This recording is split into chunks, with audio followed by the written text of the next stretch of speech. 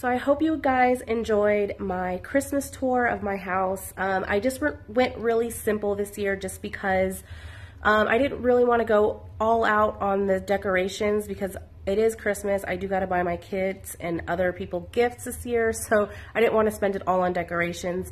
And I kind of just want to get a few things at a time because, um, yeah, I just don't have the money just to go out and get, you know, a whole bunch of stuff.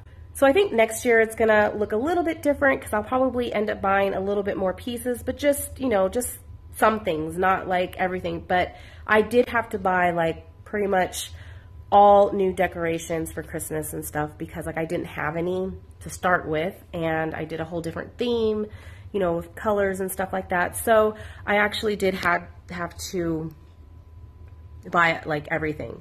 So I think next year I'll go ahead and just pick up just the rest of the pieces that I might need, like those pillows and probably some throws and stuff like that. So yeah, if you guys like this video, please give it a thumbs up. And if you're not subscribed to my channel, please subscribe. And yeah, that's it. And I hope you guys really like this video. Bye.